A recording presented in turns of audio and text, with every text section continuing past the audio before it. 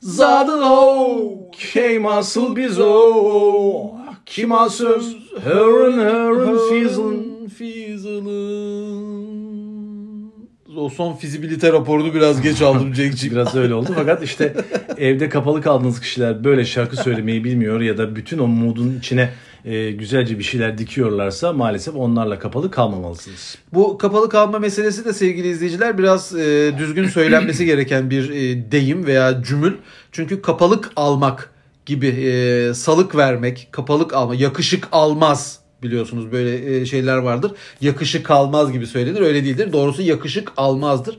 Ama bu kapalık almaz değildir değil mi Cenk'ciğim? Evet hele el almaz ya da e, kupa almaz falan hiç değildir. Yani, Çünkü yarın öbür gün çocuklarınıza kapalık nedir onu açıklamak zorunda kalabilirsiniz. Allah muhafaza e, dikkatli olun sevgili evet, izleyiciler. ya da e, evde e, sana kapalık aldım falan gibi güzel esprilerle e, Kapalık etme. dakikalar geçirebilirsiniz. Şimdi e, kapalık alma durumunda aynı evde e, çıkamadan e, farklı odalarda olsa e, kavga etmeden yaşamanın kurallarını sizlere anlatacağız ki e, evde birbirinizi didiklemeyin. Ben o arada biraz böbüre fazla kaptırdım kendimi. Ee, sevgili Ben aşağıdan bir şey alıyorsun sandım. aşağıda ekmek alıp geldim. Ha, e, dolayısıyla ilk olarak aklımıza tabii aşağıdan e, ya gidip bana bir şeyler alsana diyeceğimiz kişilerin ihtiyacı doğuyor maalesef. Yani eğer evde birileriyle kapalı kalacaksanız e, size ikide bir e, çakkaldan bakkaldan bir şeyler alıp getirecek bir takım dostlarınız bunlar e, sizden 6-7 yaş küçük kardeşiniz olabilir veya işte e, bir takım dostlarınız olabilir sizi kırmak istemeyen. E, bütün bunları göz önüne alarak böyle kişileri tercih edin. Yani ben seninle birlikte kalmak istemiyorum. Başka bir arkadaşım var. O ne istesem alır falan diyebilirsiniz e, öncesinde. Ya da evde e, bizle beraber kapalı kalıp e, işte çeşitli bakkal çakkal işlerini yapacak arkadaş aranıyor şeklinde ilanlar e, vererek de böyle e, gereken kişileri evinize alabilirsiniz. Ama e, tüm bunlar dışında o ev içerisinde ne yapılmalı ve psikolojik olarak nasıl rahat olunmalı? Evet e, ama öncesinde ben Cenk amcanızın az evvel söylediğine bir ekleme de yapmak istiyorum. Çünkü evde kapalı kaldığınız kişi sizin e, direktiflerinizi yerine getirmeye e, şey yapmıyor, e, yeltenmiyor, yanaşmıyor.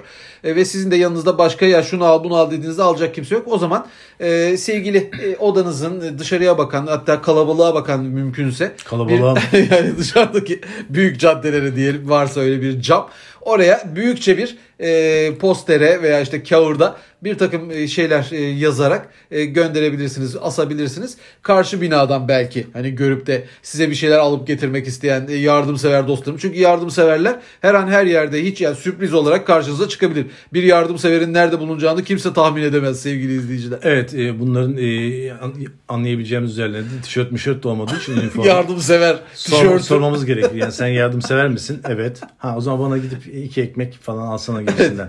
E, yani böylelikle e, isteklerimizi aslında e, camlara, büyük kağıtlara yazarak mahallemizde de güzel dakikalar geçirmenin e, yollarını arayabiliriz Evet. sevgili izleyiciler. Ee, ki yani e, işte işe çıktım 20 dakika sonra geleceğim falan diye e, cam mekanlara yapıştırılmak biliniyor da e, bana iki ekmek e, alıp gelsene falan diye bir şey biz niye camımıza Evet yapıştıramıyoruz? ayrıca mesela e, bir evi satarken kiralarken satılık kiralık diye kocaman harflerle yazıyorsunuz. E, o zaman niye e, bir bana ekmek lazım su istiyorum diye yazamıyorsunuz değil mi Cenk'ciğim? Çok mantıklı. Şimdi gelelim evimizin içerisinde neler yapmamız gerektiği. Biliyorsunuz şu andan itibaren e, 17 Mayıs'a kadar e, evden çıkmamız e, asla ve kat'a bakın bir kez daha söylüyorum. Kat'a e, mümkün tabii evden çıkabiliriz alışverişe falan gidebiliriz de ama kim şimdi uğraşacak onunla Allah evde- kahretmesin. Evde yayılma moduna girdikten sonra bunu bakkal çakkala giderek bozmak demek psikolojinizi de bozmak demektir. Çünkü eve girmek bilmezsiniz. Bu sefer oradan oraya biraz da oraya gideyim. E, bir bakarsınız 50 saat böyle marketin cam mekanında boş boş bakıyorsunuz. Bunları istemeyiz. Evet yani bu bir türlü uykuya dalamamak gibi. Ya tam yatağa yatmışsınız, uyuyorsunuz, tekrar uyuyorsunuz. Uyuyorsunuz, tekrar böyle uyku olmaz. Bunun bundan hiçbir fayda da gelmez. O yüzden madem eve girdik ve malaklama e, adını verdiğimiz olaya daldık tamamdır. Artık bizi televizyonun karşısına kimse kaldıramamalıdır sevgili izleyiciler. Ee, ve evin e, küçüklüğü ve kapalı kalma hissiyatını yok etmemiz için de evi büyük olarak addetmek, Büyük. öl- ölçeği büyük düşünmek e, bizi rahatlatacaktır. Misal e, her odamıza bir tane şehrimizin ismi veya birer ülkenin ismi verilirse bu şekilde e, o ölçek büyüdüğü için rahat takılacaksınızdır. Evet e, ve üstelik evimizin belki bir haritası, bir krokisi çıkartılıp dünya haritası başlığıyla Evet. şey asılmalı. E, salonun büyük bir köşesine asılabilir değil mi Cenk'ciğim? Misal yatak odasınız, yatak odasına İstanbul dediniz. E, mu, şey mutfağı da Ankara dediniz. Yatak odasından e, o zaman hadi bakalım yarın bir Ankara'ya Uzayalım. Gideriz deyip e, güzelce yatak odasında bavullar, bavullarınızı hazırlayınız ve hafiften Ankara'ya doğru yola çıkarken e, o mesafeyi de Ankara olarak düşünüp mümkün olduğunca yavaş gidin. Yavaş hatta yolda e, yani yatak odasıyla mutfak arasındaki o aslında İstanbul-Ankara mesafesinde en az iki kere mola verin. E, Bir ihtiyaç molası Evet. olsun. Bir şeyler e, yapın, yiyin, için. Hatta belki ay çok uykum geldi bu şekilde yola devam etmemiz güvenli olmaz diye yolda uyuyun.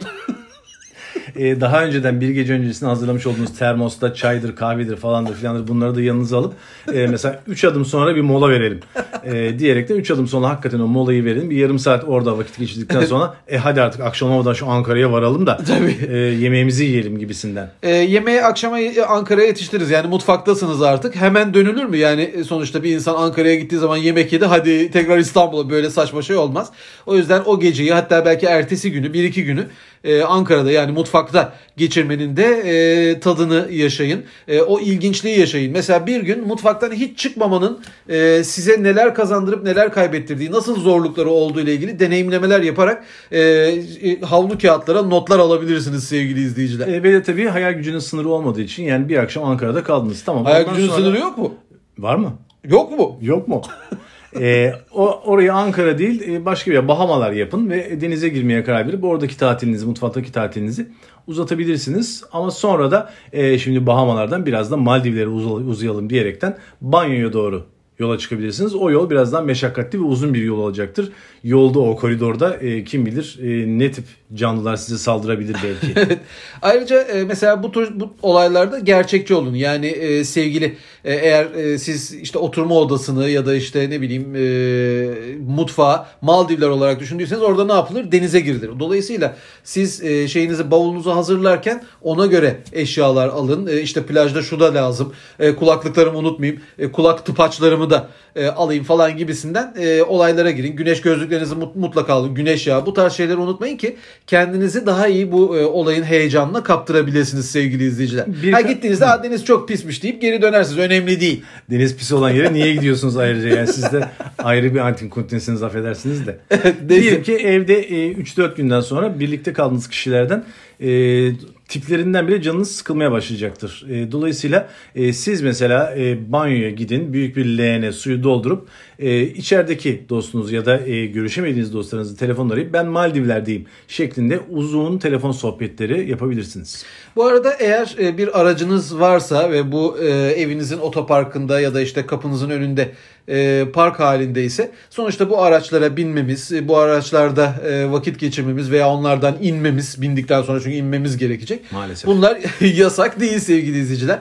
Alın ailenizi, e, hazırlayın eşyalarınızı, aracınızın bagajını güzel bir şekilde alabileceğiniz her şeyi e, alarak e, yerleştirin. Sonra geçin arabanın içerisine. O iki günü orada geçirin. Yani sonuçta 18 gün zamanımız var. İki gününü arabada geçirsek, e, arada inip havalansak, tekrar arabamıza binsek, işte ne bileyim yolda giderkenmiş gibi e, bir, bir iki salata soyup birbirimize ikram etsek. ne kadar güzel değil mi Bu Cenk'ciğim? iki günü arabanızda geçirirken yolda geçen polis dostlarımız ne yapıyorsunuz burada Canım falan yani, diyecekler. Siz de yoldayız. Ne işin? Yoldayız şu an acilen gitmemiz lazım memur bey falan diyerekten onun da kafasını karıştırabilirsiniz. Yo aslında bu iyi bir şey çünkü e, siz zaten kendinizi uzun yola hazırlayıp arabaya o, yüz- o niyetle bindiğiniz ve öyle zannetmeye çalıştığınız için yolda polis çevirmiştir size olabilir yani bu çok normal. Bir anda hatta kendinizi e, daha da fazla kaptırmış olabilirsiniz. Arabada e, bir şeyler izleyip yiyip içmenin keyfini e, bence yaşamalısınız sevgili izleyiciler. E, dolayısıyla iki geceyi de arabada kalarak geçirdiniz. İşte iki gece mutfakta kaldınız. E, bir gece salonda kaldınız. Üç gece yatak odasında kaldınız. Bunların her birine güzel bir isim verdiniz. Fransa dediniz, İngiltere dediniz. İşte e, şeye gittik, Antep'e gittik. Bir güzel e, kebap yiyeceğiz filan dediniz. Aa size o 17 gün, kaç 17 gün müydü? 17 gün e, 18 gün rahatla rahatlıkla geçer. geçiverecektir. Ayrıca sevgili izleyiciler arabada illa arabanın içerisinde vakit geçirmek zorunda değilsiniz. Açın kaputu, sokun kafayı oraya. Bir gün bir gece orada yatın veya arabanın altı var. e, havalar ısınıyor. Arabaların altları gayet serindir. Bir takım miyav e, ve hevhev dostlarımız da oraları gölgelenmek için kullanırlar. Siz de girin e, o güzelliği de yaşamaya çalışın. Belki aracın altında damlatan bir yağ e, damlatan bir bölge görür. Evet. Onu da tamir etme fırsatı bulursunuz. Bir de e, bunun daha da kötüsü olabilirdi gibisinden e, dostlarımız Daha kötüsü daha kötüsünü de yaşayalım o zaman e, diyerekten e, kapanmanın aynı zamanda evdeki elektrik, buzdolabı, fırın, carçut, internet gibi şeyleri de kapatmak olduğunu düşünüp mesela bir geceyi de full kapanım içerisinde geçirin. Yani no Evet. internet, no elektrik falan gibi. ya mahrumiyet gecesi ismini verirsiniz ona da.